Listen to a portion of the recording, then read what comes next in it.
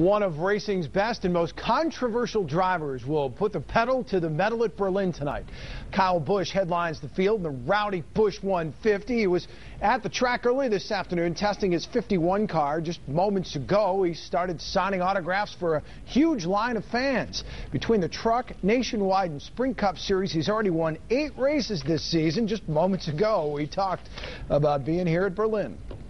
Busch, Kyle, is this sound just music to your ears? Oh yeah, we love being at the racetrack. It's always fun to come out and especially at Berlin Raceway. We'll have a lot of fun out here. We've uh, not won a race here yet, only been here twice, but hopefully tonight we'll change that. It's one of the few tracks you haven't won at, then. Yeah, yeah. There's not a whole lot, but uh, there's still some. 21 wins last year. You've already got eight this year between the three circuits. What, what's the key to winning?